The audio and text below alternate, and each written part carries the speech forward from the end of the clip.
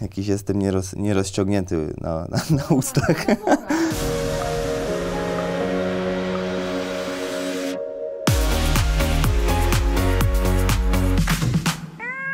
Cześć, witajcie z tej strony Jakub Kucner. Witam Was w najsłodszym programie w polskim i nie tylko polskim internecie Miał.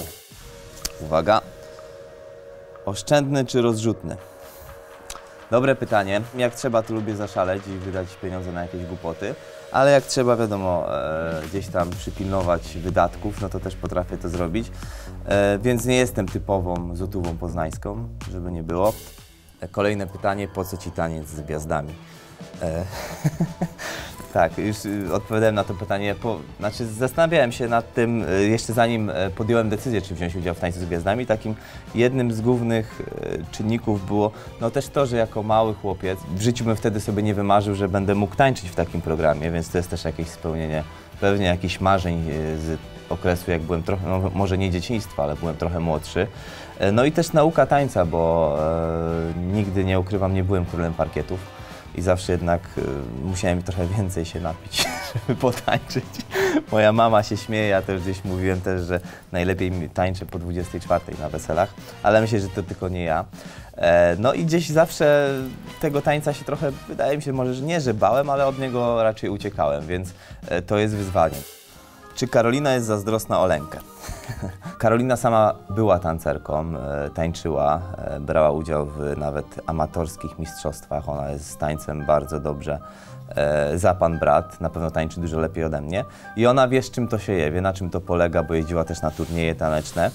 E, I poza tym poznała Lenkę też ostatnio. Lenka jest niesamowitą e, osobą, niesamowitą e, dziewczyną, więc złapały fajny wspólny, wspólny język. Lenka ma na planie męża, ale muszę powiedzieć, że Janek jest zazdrosny o Lenkę też, tak, jak e, my coś tam robimy, nawet go czasami podpuszczamy, że się gdzieś tam przytulimy, coś, to on tam od razu zawsze jest czujny, tak, jest zazdrosny, ale Lenka mówi, że dobrze, przynajmniej mu to wyjdzie na zdrowie. Jak zostać misterem Polski? Hmm. Ja w 2015 roku brałem po raz pierwszy udział w konkursie Mistera Polski. Wtedy nie zająłem żadnego miejsca. Wygrał e, mój e, bardzo dobry kolega Rafał Jąkisz, którego pozdrawiam, jak będzie oglądał. E, I w 2017 roku wystartowałem raz jeszcze. No i dlaczego wygrałem? Ponieważ no, żeby zostać misterem Polski, po pierwsze trzeba, no oczywiście liczy się też prezencja, trzeba e, jakoś wyglądać. Ja też przez te dwa lata zrzuciłem sporo kilogramów, bo jak startowałem po raz pierwszy, to pewnie każdy z Was wie, e, miałem sporą nadwagę, bo ważyłem ponad 90 kg i wyglądałem zupełnie inaczej niż, e, niż później.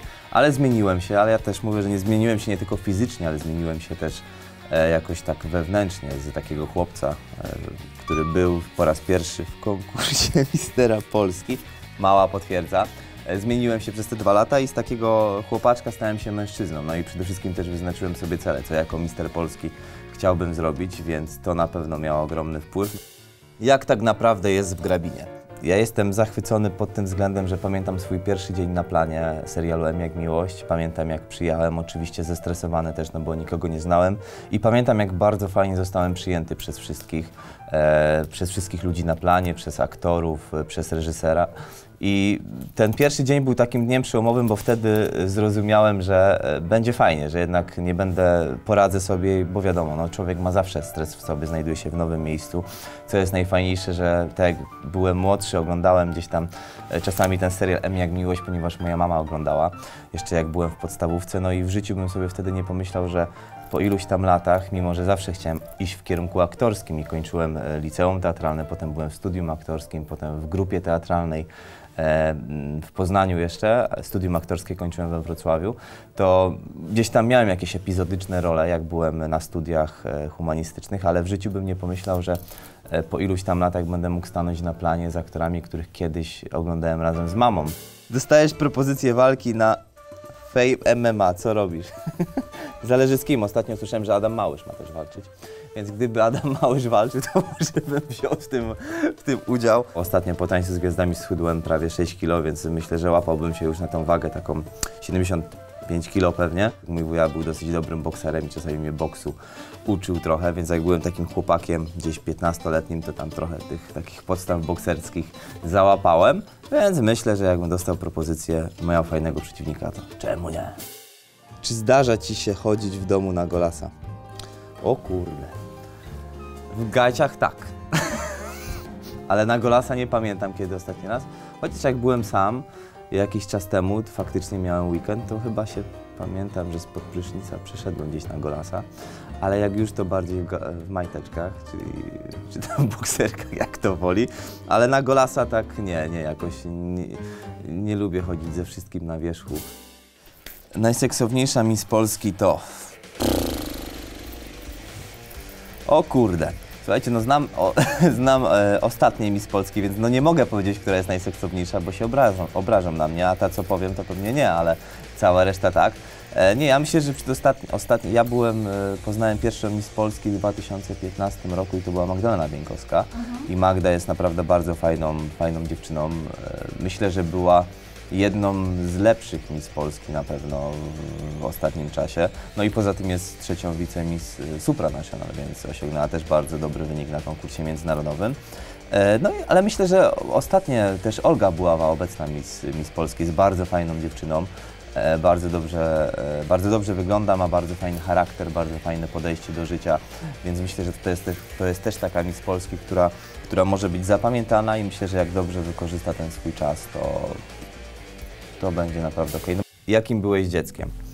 E, więc y, pamiętam, jak mój tata e, kupił kamerę e, sobie taką e, w, do nagrywania. To była jedna z pierwszych kamer e, w Polsce i e, gdzieś nagrywał film, jak ja co chwilę do niego podchodziłem i mówiłem, tata pokaz, pokaz. Jeszcze miałem problemy z wymową i na przykład jak mówiłem szafa, to mówiłem safa na szafę i ja tak śmiesznie mówiłem pokaz, pokaz i chodziłem przez dwie godziny i marudziłem mu cały czas, aż on się wkurzył w końcu i, e, i coś tam pamiętam, e, dał mi tą kamerę i okazało się, że ja tę kamerę rozwaliłem, bo ona spadła, więc był, miałem karę przez rok czasu. Ale e, nawiązuję do tego, że byłem tak, byłem takim marudnym dzieciakiem, że lubiłem, e, lubiłem chodzić i męczyć trochę, ale pamiętam ten czas i to był wspaniały czas e, też spędzony z moimi dziadkami, bo jednak oni e, przez ten okres bardzo dużo się mną zajmowali, ponieważ mieszkali na wsi, a ja nie chciałem przebywać w Poznaniu, więc dopóki jeszcze nie chodziłem do szkoły, to tam z siostrą bardzo dużo u nich czasu byliśmy i to był najpiękniejszy czas i ja myślę, że to będę zawsze do końca życia wspominał zawsze, jak jedziemy do skoków i odwiedzam te miejsca, to taki sentyment się pojawia i łezka wokół. No i też tęsknota za dziadkami, bo niestety już ich, już ich nie ma. Dlaczego nie zostałeś księdzem? Pamiętam, że mój ksiądz, który nas uczył e, w liceum, e, był takim, miał bardzo mocny charakter, miał bardzo mocne zasady. E, On, on mnie namawiał, mówi Kuba, no moim zdaniem to nie byłby zły pomysł dla Ciebie, żebyś poszedł do seminarium, ale ja sobie tak wtedy pamiętam, że myślałem nad tym, długo się zastanawiałem, no i potem przyszła moja pierwsza miłość, zakochałem się, no i jakoś temat y, księdza y, odszedł dalej. Ja nie powiedziałem rodzicom, nie przyszedłem do nich, nie powiedziałem, słuchajcie, mam pomysł, żeby pójść do seminarium.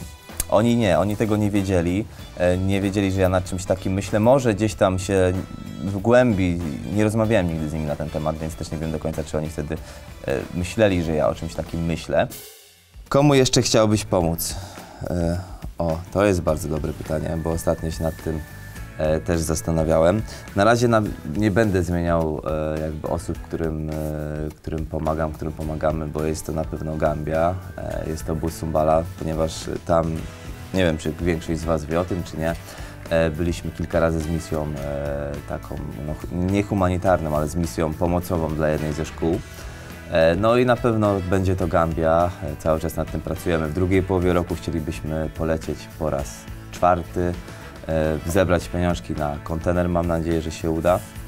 Już z naszą fundacją Power Changers. No i e, dalej mojej oczywiście podopiecznej ze Stowarzyszenia Małych Braci Ubogich, Pani Ani, bo też jestem wolontariuszem w tym stowarzyszeniu, z którym stworzyliśmy w listopadzie 2017 roku kalendarz Łączymy Pokolenia.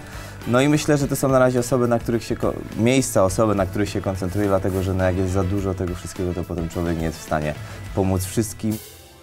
Nadaj imiona naszym kotom. Ona mi wygląda na Fionę. Tak. To mi się kojarzy z taką typową Fioną, więc mamy Fionę. Tutaj mamy, ona mi się bardziej kojarzy z jakąś panterą, z czymś takim, więc niech będzie e, czarnuszka. Trzecia jest bardziej przytulaśna, czyli może nazwiemy ją, y, nie wiem, kruszynka albo kruszyna, coś takiego, no bo jest taka bardziej spokojna, lubi, żeby ją podotykać, pougłaskać.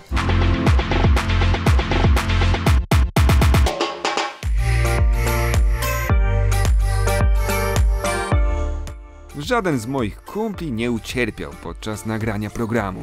Ja też mam się świetnie. Kociaki podobne do nas czekają także w schroniskach.